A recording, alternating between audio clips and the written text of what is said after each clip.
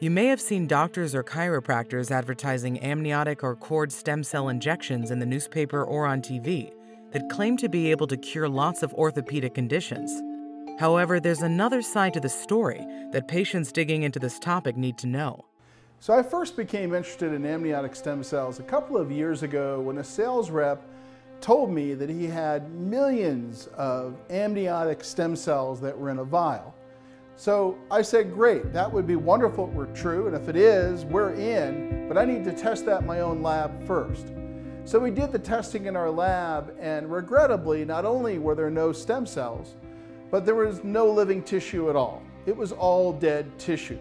So when we didn't find any stem cells, this kind of made sense because the way these tissues are harvested in public hospitals, and then they're processed, and then they're cryopreserved, and then they're shock thawed in a doctor's office, you wouldn't really expect to see much living tissue in these products. Okay, here's where we are at this point. Amniotic and cord blood cell products that are being aggressively marketed by sales reps and physicians as having live stem cells didn't have any living stem cells when independently tested by this research team. So, if you look at the latest advertisements, and we can look at one of them now, we'll see that the Stem Cell Institute of America is reaching out to chiropractors to do these procedures in their offices. They have these huge advertisements in chiropractic magazines. I mean, it's the whole entire page, as you can see. They're using advertisements as a recruitment tool. When stem cells first started, when they were doing them for patients, it was done by trained medical doctors. But the Stem Cell Institute of America is approaching chiropractors to have these medical procedures performed in their often non medical offices. You've probably seen ads for this company in the newspaper. Let's take a look at a chiropractor giving a seminar on amniotic stem cells. And then after the child is born, they're able to save the placenta, process that, and then that's where we get stem cells from, for the, the, the, the alternative to adult stem cells. And then finally, placental stem cells from amniotic tissue. We talked about that. The amniotic tissue is so much more active. But is any of this true? Are there really active young stem cells in the products used by Stem Cell Institute of America? So the stem cell injections that we utilize from the amniotic stem cells. What stem cell product does Stem Cell Institute of America claim it uses? On their website, the Stem Cell Institute of America states it uses PalinGen Flow. We did find a scientific team who had worked with the Interventional Orthopedic Foundation, who had actually tested PalinGen Flow to see if it had living stem cells. So we tested this product, and the viability was very poor for a properly cryopreserved stem cell product. We then tried to see if any stem cells would grow. Nothing grew, so we concluded that this product had no viable stem cells. See healthy living stem cells from bone marrow on the left, and contrast where there is nothing resembling stem cells from the PalinGen Flow on the right. Interestingly, the IOF received a letter from a PhD who had also tested PalinGen Flow. His position was also that PalinGen Flow had no viable and functional stem cells. However, he felt the product could have some clinical benefit through native growth factors.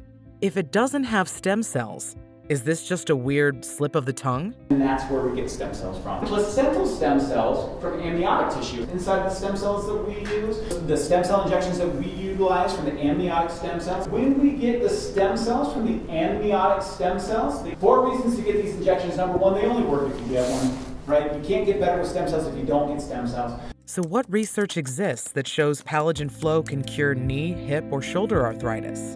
There's no published research. As recently as November 2017, Brent Detelich is represented as the president of the Stem Cell Institute of America. Perhaps the most shocking revelation is that Brent Detelich was convicted by a jury for healthcare fraud as a chiropractor in 2007 and sentenced to three years in prison. He regularly billed for services that were not rendered. His patients would receive reimbursement checks from insurance, cash them, and bring the money to his office or directly to Detelich.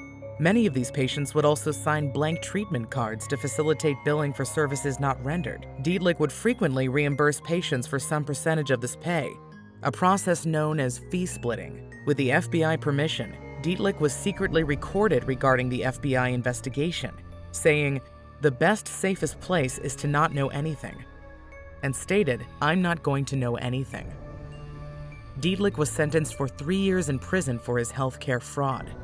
On January 5, 2018, the same day the original version of this video was released, Brent Detelich resigned as president of Stem Cell Institute of America.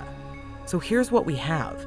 We have chiropractors all over the country who have signed on to the Stem Cell Institute of America network who are telling patients that they are performing stem cell injections. It's like Costco. We buy our stem cells in bulk. We got a bunch of folks here, and we get a bunch, and we just pass those discounts directly on to you. We know that the Stem Cell Institute of America says on their website that they use a product called PalinGen Flow.